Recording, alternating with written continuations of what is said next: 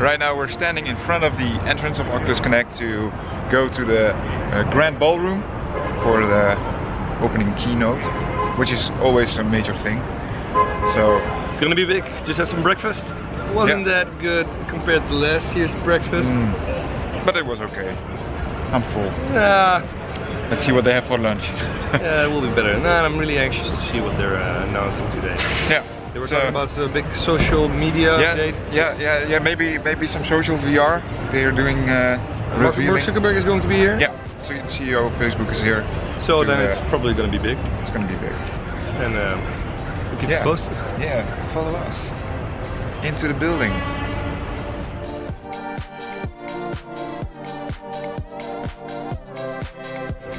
We're standing in line to enter the Grand Ballroom and it's ridiculously long. Just let me show you real quick.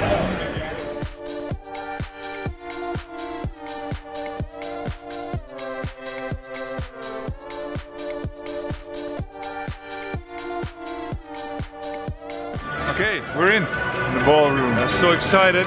Let's see what this keynote brings us. There's a nice spot in the front. Yeah. Up front because it happens to be press seats, but yeah, quite up front. Not bad. And so putting it on and still having that like that new VR shock of like, whoa, I'm in another place. And then to have on top of that, whoa, I'm in another place.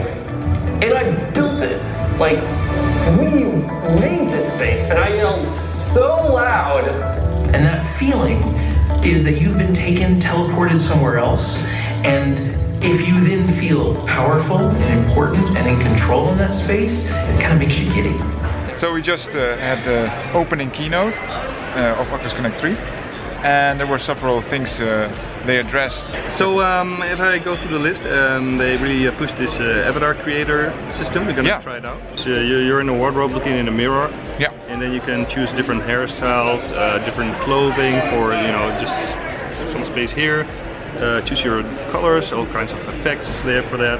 So you create your unique avatar which embodies your yeah person. It's a feature they're going to implement in Oculus Home. They are uh, releasing an SDK, so you can implement these avatars yourself in your game, so that uh, yeah they're all alike throughout the whole Oculus Home experience. Yeah, and the thing is why you would need it in the first place is because of Oculus Home. They're integrating uh, a new party system because uh, currently uh, uh, the whole friend system is like broken. Yeah. Well, there's not really an, a friend system. It's more like okay, you have your friends, but you can't do anything with it. Yeah. So now you'll be uh, you will be able to uh, connect up to eight people at the same time. You can talk to each other. You can uh, transport, teleport yourself to a different place. They call uh, rooms. Yeah, Oculus rooms. And in these rooms, you have like a TV. You can watch YouTube together. You can play card games, chess. Um, they also announced uh, they didn't call a name, price, or ETA on bring it out yet. Uh, a new VR headset. It, yeah. It's going to be wireless. It's going to be uh, a third product line, so it's it's not going to uh, replace something, and it's going to be uh, placed in uh, between the Gear VR and the uh, Oculus Rift. So between the mobile and PC platform, you have this platform called standalone. Yeah, and it's it's going to incorporate inside-out tracking, so you don't need sensors, so you have positional tracking. Um, it's going to be more high-end than Gear VR, yeah. Lower than PC VR, so I don't know what this one-in-one solution uh, is going to be. It's probably going to be some sort of Gear VR on steroids yeah, inside out tracking. And what they showed was a, a, a, short video of 20 seconds or such with uh, someone wearing a hacked version of a Rift. Yeah, it looked like a Rift. So that, that's that. And yeah. then else, uh, they were talking about uh, room scale. Uh, you're yeah, you're able to use room scale. In order to do that properly, uh, they suggest you need three sensors, so uh, infrared yeah. cameras, and you can buy the third one. Uh, if you're gonna buy touch, you get your second one already. You can you buy uh, the third one for $79. 79 yeah. Uh, let's see what we have here. Epic announced that their new game, I think it was it Robot Recall. Robo Recall. Robo Recall. It's um, it's an actual game, so it's uh, heavily inspired on the tech demo Bullet Train last year's. Yeah, it's Bullet Train on steroids. Yeah, I, I like thought that. the trailer was phenomenal. I really loved the style, and uh, it was like uh, creating like this Apple-like uh, teaser for like this uh, robot you could use at home for all kinds of tasks, and then in between you got shots where the um, it was a bit like iRobot, where the robots uh, start malfunctioning and don't listening to their owners anymore. And the whole game is about shooting these robots uh, who are out of control and Yeah. Create all sorts of mayhem. It's It's a, uh, bit in a, in a comical uh, uh, yeah, style. you, you get all like these boosters and, uh, Yeah. and, and uh, power-ups in your... Uh, your vision. yeah. Oh yeah, this was a really interesting one. Um, they announced uh, asynchronous space warp, so, So not it's not space time. No, not time warp. And what they do is uh, they can uh, let the game run on 45 frames per second, and in between they create these new frames based on the previous ones.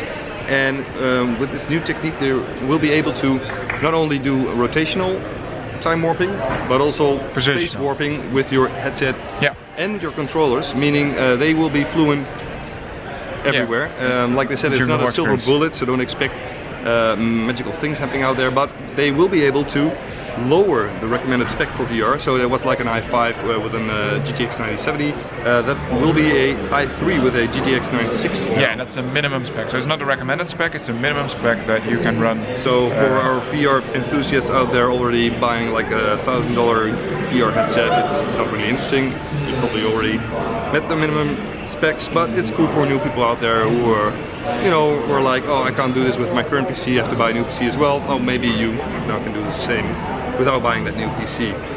Um, they also announced new in-ear uh, Headphones? headphones, so you could replace uh, the current ones, which you could already snap off, and you could replace these. And they were supposed to, they cost like $49, and they supposedly matched $900 headsets, or, uh, yeah, or even they better. were on par or better. So, uh, yeah, and we got a couple of them for free. Yeah, we have like a small box. You got them for free, so that's how special they are. Uh, uh, it's still inside the box. You just click them on the spot where you uh, get Yeah. rid of the old ones. Um, then what they also announced, I didn't really recall the name, was uh, this new audio SDK. Look at it as a skybox For sound. For sound. Yeah, So ambisonic sound. So That- that, that was that's it, um, gonna be uh, more immersive. positional um, audio for ambient sound. So yeah, more and a what they said is if you put it in like a jungle with a proper scene and then uh, spatial uh, things, it would makes really the scene sound come like alive. Yeah.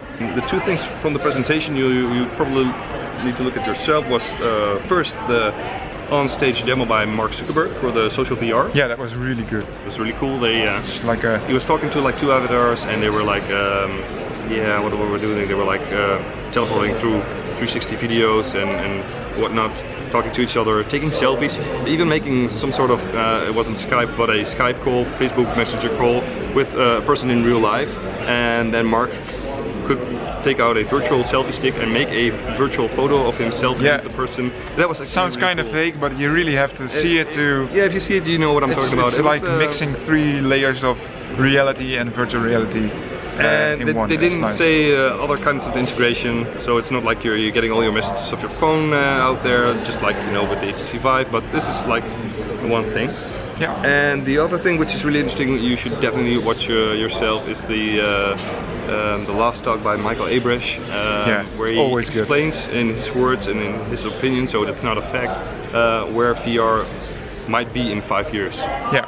And the one thing that wasn't even mentioned or talked about, and we we're gonna mention it, is where's Palmer Luckey? Yeah, we haven't seen him. We haven't seen him on stage. He wasn't here. He, He wasn't, wasn't here? even He wasn't at a party. named. He wasn't even. It was like nothing. Hmm, too bad. So I wonder where he will be. Um, yeah, wh- what's happening in the future with him? If he's gonna be with Oculus or maybe he's already. Yeah, there, Gone. there's already speculations and stuff, but yeah, I Yeah, just, we don't uh, get like to keep it on a rumor train, and uh, we'll just um, see where, uh, Yeah, where he so pops um, up. it's now um, two o'clock and we're getting late for our session, so uh, we're Yeah. gonna check out. And uh, See you later. until next time.